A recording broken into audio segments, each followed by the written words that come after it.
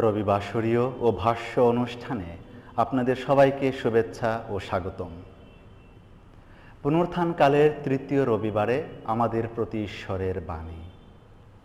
প্রথম পাঠ শিষ্যচরিত তিন অধ্যায় তেরো থেকে পনেরো এবং সতেরো থেকে উনিশ পদ দ্বিতীয় পাঠ, প্রেরিত জোহনের প্রথম ধর্মপত্র থেকে। দুই অধ্যায়, এক থেকে পাঁচ পদ পর্যন্ত। এবং মঙ্গল সমাচার। সাধু লোক রচিত মঙ্গল সমাচার থেকে চব্বিশ অধ্যায় পঁয়ত্রিশ থেকে আটত্রিশ পদ পর্যন্ত। অ্যামাউস থেকে জেরুসালেমে ফিরে এসে সেই দুজন শিষ্য পথে কি কি ঘটেছিল আর কীভাবে সে রুটি ছাড়া দেখেই তারা যিশুকে চিনে ফেলেছিলেন, এই সব কথা সকলকে শোনাতে লাগলেন। তারা বলে চলছেন এমন সময়ে হঠাৎ যিশু নিজেই শিষ্যদের মাঝে এসে দাঁড়ালেন। তিনি তাদের বললেন, তোমাদের শান্তি হোক। তারা চমকে উঠলেন, ভয়ে বিহব্বল বিভ্রান্ত হয়ে পড়লেন। তাদের মনে হলো তারা যেন ভূত দেখছেন। কিন্তু যিশু তাদের বললেন, এত বিহব্বল হচ্ছ কেন? মনে ওইসব সন্দেহই বা যাচ্ছে কেন? আমার হাতের দিকে, আমার পায়ের দিকে একবার চেয়ে দেখো। হ্যাঁ এ আমি নিজেই। আমাকে ছুঁয়েই দেখো না। ভূতের তো হাড়, মাংস কিছুই থাকে না। অথচ দেখতেই পাচ্ছ, আমার তা রয়েছে। এই কথা বলতে বলতে তিনি তার হাত পা তাদের দেখালেন। আনন্দের অতিশয্যে তখনও তারা বিশ্বাস করতে পারছিলেন না। তখনও তারা বিস্ময়ে অভিভূত ছিলেন। তাই তিনি তাদের বললেন, তোমাদের এখানে কি খাবার মতো কিছু আছে? তারা তাকে এক টুকরো ভাজা মাছ এনে দিলেন। তিনি তা নিয়ে তাদের সামনেই খেয়ে ফেললেন। তারপর তিনি তাদের বললেন, তোমাদের সঙ্গে থাকতেই তো আমি এই সব কথা বলেছিলাম যে, মসির বিধান গ্রন্থে এবং প্রবক্তাদের বাণী গ্রন্থে ও সামসঙ্গীতে আমার সম্বন্ধে যা কিছু লেখা আছে, সেই সমস্ত সত্য হবেই হবে। তখন তিনি তাদের মনের দ্বার খুলেই দিলেন, যাতে তারা শাস্ত্রের অর্থ বুঝতে পারেন। তিনি তাদের বললেন হ্যাঁ শাস্ত্রে এই কথা লেখা রয়েছে যে, খ্রিস্ট যাতনা ভোগ করবেন আর তৃতীয় দিনে মৃতদের মধ্য থেকে পুনরুত্থান করবেন। এবং জেরুসালেম থেকে শুরু করে সকল জাতির মানুষের কাছে তারই নামে এই বাণী প্রচার করা হবে যে, পাপের ক্ষমা লাভ করার জন্যে মন ফেরানো দরকার। তোমরাই এই সব কিছুর সাক্ষী রইলে। খ্রিস্টেতে প্রিয়জনেরা। রবিবাসরীয় আজকের উপাসনার পাঠগুলো বৈশিষ্ট্যগতভাবেই আমাদের বিশ্বাসের জীবনের মৌলিক এবং মূল ভিত্তি এবং তার পরিপ্রেক্ষিতে আমাদের কি করণীয় সেই বিষয়ে আলোকপাত করে। মঙ্গল সমাচারে বর্ণিত যিশুর শিষ্যদের বিশ্বাসের জীবনের অসচেতনতা ও গভীরতা যিশুর মৃত্যু ও পুনরুত্থানের অর্থ বুঝতে না পারা, এই সব কিছুই যেন আমার, আপনার, আমাদের সবার বিশ্বাসের জীবনেরই প্রতিচ্ছবি। যিশুই যে ঈশ্বর পুত্র পুনর্থিত সেই খ্রিস্ট, সাধু লোক তার মঙ্গল সমাচারে, বিশ্বাসের এই রহস্যময় সত্যকে বারবার তিনি আলোকিত করেছেন। আর সেই জন্যেই তিনি তার মতো করে প্রভু যিশুর পুনরুত্থানের এই ঘটনার সত্যতাকে রূপায়িত করেছেন এইভাবে।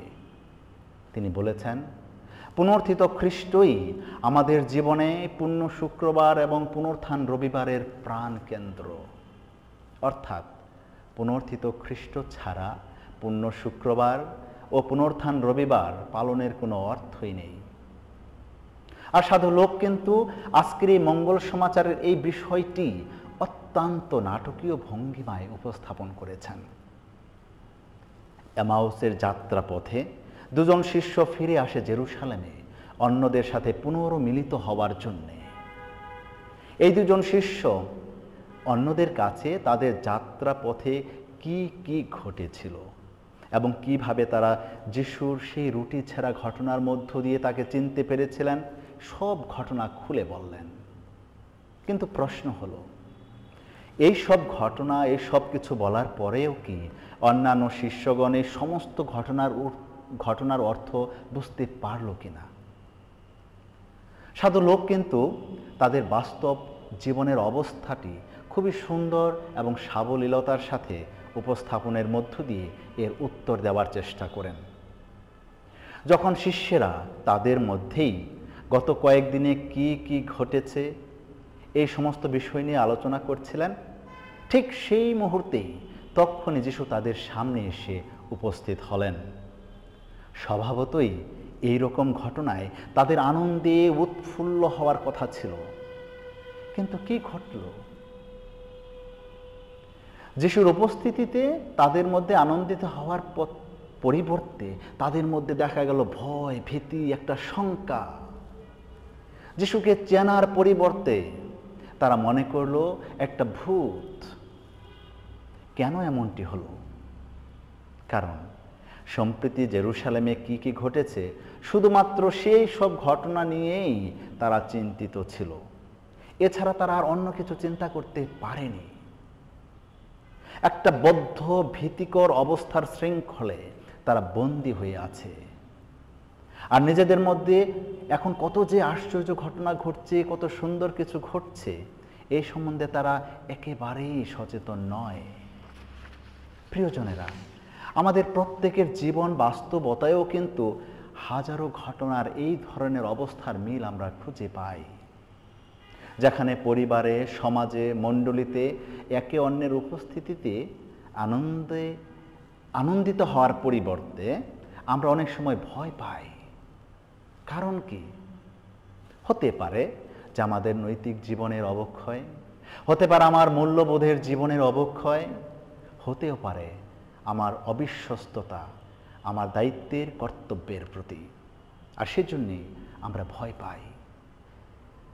হয়তো আমার দাম্ভিকতা, স্বার্থপরতা, ব্যক্তিকেন্দ্রিকতা অর্থ ক্ষমতা সব কিছুর বসে। অনেক সময় আমার সেই চেনা মুখ, আমার আপনজন প্রিয়জন আমার কাছের মানুষটিকে আমি অনেক সময় চিনতে পারি না। পর করে দেই, দূরে ঠেলে দেই তাকে। মনে হয় একটা অপ্রয়োজনীয় বোঝা, একটা জঞ্জাল।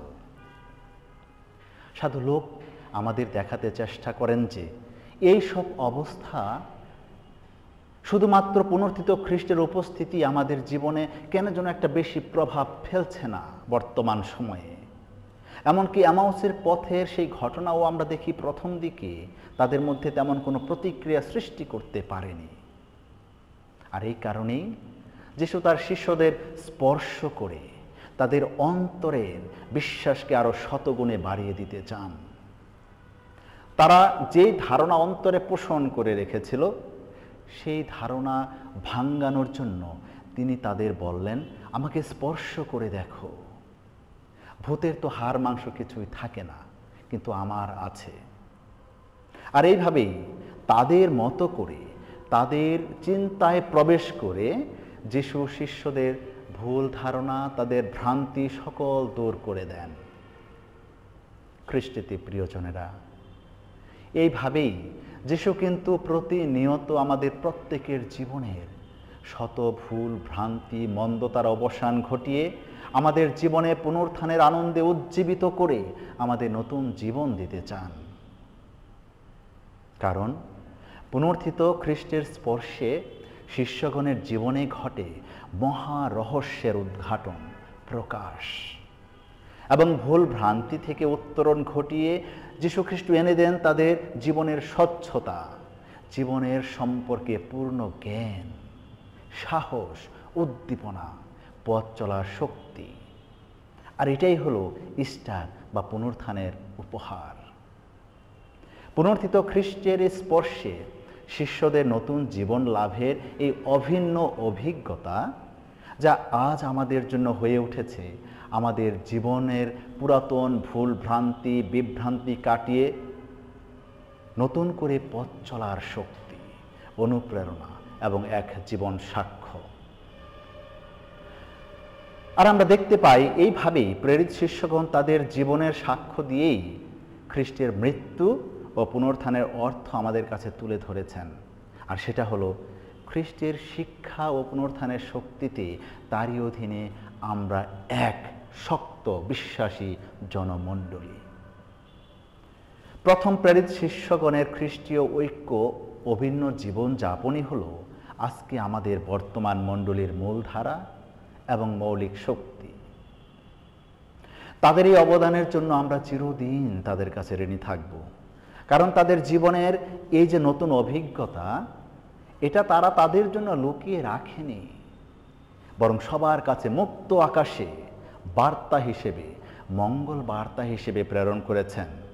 আর সেই বার্তা আমাদের কাছে হয়ে উঠেছে মঙ্গল বার্তা, মঙ্গল সমাচার। যার শুনবার কান আছে, সে শুনুক। যুগ যুগ ধরে প্রতিটি মানুষেরই উচিত পুনর্থিত খ্রিস্টের নবজীবনের এই উপহারের কথা অন্যের কাছে প্রচার করা।